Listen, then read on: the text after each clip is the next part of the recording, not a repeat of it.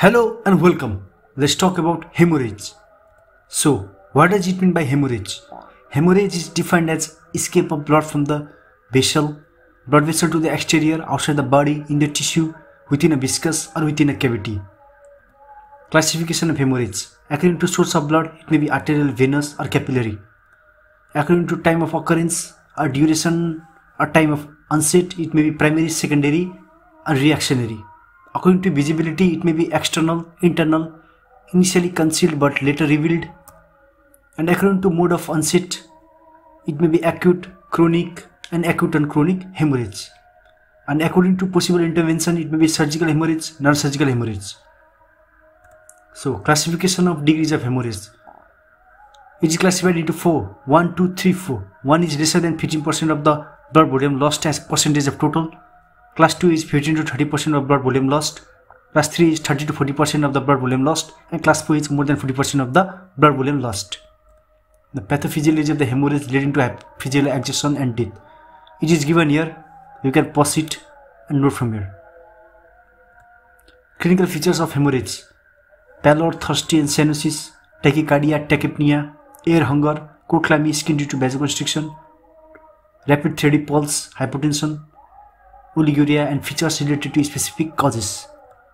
Signs of significant, blood loss. Pulse more than 100 per minute, systolic blood pressure less than 100 mm of Hg, diastolic blood pressure drop on sitting and standing more than 10 mm of Hg, and pallor or sweating and shock index is more than 1. Now treatment of hemorrhage.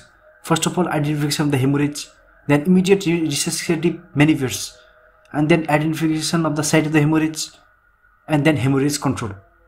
Hemorrhage control is uh, done where the blood is uh, blood loss is stopped by pressure, packing, position, coagulation by diathermy, and ligation. And once hemorrhage is controlled, patients will be aggressively resuscitated, warmed, and coagulopathy should be corrected. And after that, damage control resuscitation should be done. Now, methods of the stoppage of the hemorrhage pressure, packing, position, which includes elevation of the limb if hemorrhage is from limb, coagulation by diathermy, and ligation. Effects of hemorrhage acute renal shutdown, liver cell dysfunction, cardiac depression, hypoxic effect, metabolic acidosis, GIT mucosal ischemia, sepsis, interstitial edema, AV shunting in lungs leading to ARDS, hypovolemic shock leading to MODS. Method of determining blood loss in surgery. Measuring the blood loss by clot size of a clenched fist is 500 mm, 500 milliliter. Swelling of the soft tissue around the close factor. Fracture in case of tibia 500 to 1500 milliliter. In case of femur 500 to 2000 and in case of pelvic fracture 2000 to 3000 milliliter. Suction tube. Measurement of the blood during suction per operatively and swab weighting. Weighting of the weight of the swab minus weight of the dry swab gives amount of the blood loss estimation estimation of hemoglobin percentage in PCV, estimation of blood, total blood volume and others can be done. Why tachycardia occurs in hemorrhage? In hemorrhage, there is decreased effective circulatory volume leading to decreased blood pressure and there is reflex stimulation of sympathetic nervous system leading to increased heart rate, so tachycardia occurs. Now, differences between the types of hemorrhage. There are three types, primary, reactionary and secondary. Primary occurs immediately due to injury, reactionary within 24 hours of primary, and secondary after 7 to 14 days of primary hemorrhage.